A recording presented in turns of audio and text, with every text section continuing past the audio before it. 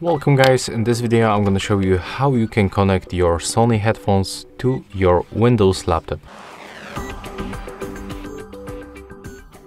Okay, so first of all we have to find the power button, it's located right here and we have to just pull it like that to turn it on. This indicator will start blinking like that. So that's the first step. Another one, we have to get this adapter and we have to plug it to the USB-A end.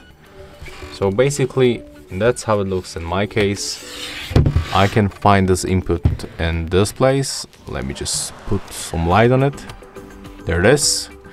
So we have to just plug it like that. There we go. And right now, when you take a look on your headphones, as you can see this light turns to the white and it's not blinking anymore. So it means that right now this device is automatically automatically connected. And right now the sound comes from your headphones. But just to be sure that everything is fine, I can recommend you to go to the settings, open the sound settings,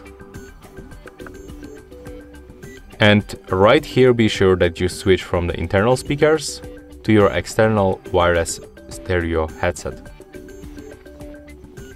That's very simple as you can see. And the same for the microphone. And also right here we are able to set the volume for the microphone of this headset and the separate volume for your headset right here. And that's how it looks. If you find this video helpful, just remember to leave a like, comment and subscribe to our channel.